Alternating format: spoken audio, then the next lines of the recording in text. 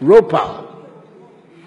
The law was made when I was part of government the first time under President Kufuor.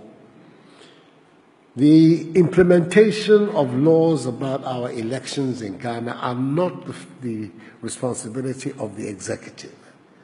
The constitution of our country has given exclusive authority over electoral matters to an independent body called the Electoral Commission. And that is the way it should be. We don't want presidents and politicians messing up with the electoral system of our country. So it is the Electoral Commission, through the mouth of Dr. Afari-Gyan, when he was chairman of the commission, who told us that they were not in the position to implement the law, that when they felt they could organize it, they would. Well, we heard him. He's gone. His successor has come. She has also indicated once.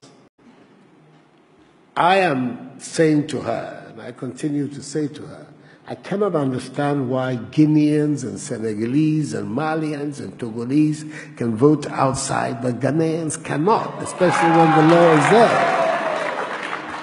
So we're engaged.